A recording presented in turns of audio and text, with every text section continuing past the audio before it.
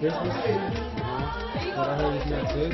Like my parents, it's been two years since they stopped doing it. Oh, they haven't done it?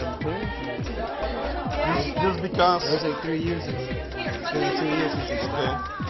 Because uh, Fernando, the customer's worker, Uh-huh. he had one, and when they were like going out or something, when he came over here, he was at my house, and it was Christmas. And he goes, oh, Gabriela never told you about the Christmas tree. Okay, Yes, yes. that's weird because Anita was calling us about Christmas tree. And he started telling my parents that that it mean nothing that they to use it for. Oh, And they explained it. So they stopped putting it in. So apparently it doesn't have a good meaning. And Catherine wanted to put a Christmas tree in, the neighborhood